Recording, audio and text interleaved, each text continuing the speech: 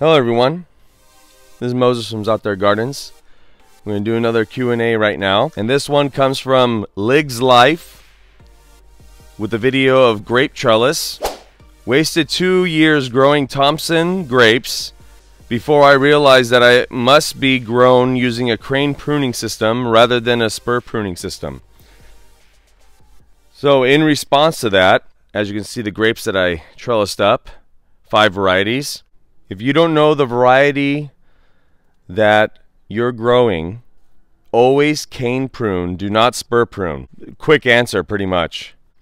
If you spur prune a grape that needs to be cane pruned, potentially you won't have any grapes that season at all. You'll just get a lot of vigorous growth. So, like I said again, always cane prune instead of spur pruning. But if you know for sure what the variety is, and it needs to be spur pruned, spur prune. And once again, please leave questions so I can do more of this uh, series of Q&A. And please send in letters. Uh, P.O. Box is in the description. I love to read them.